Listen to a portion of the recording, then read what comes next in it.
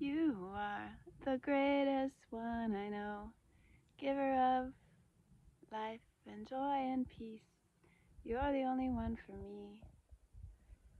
You know, mountaintop, you make promises.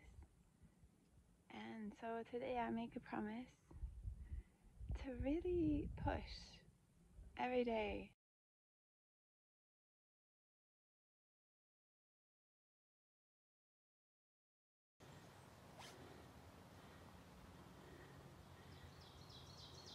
you, my Lord, for all this beauty.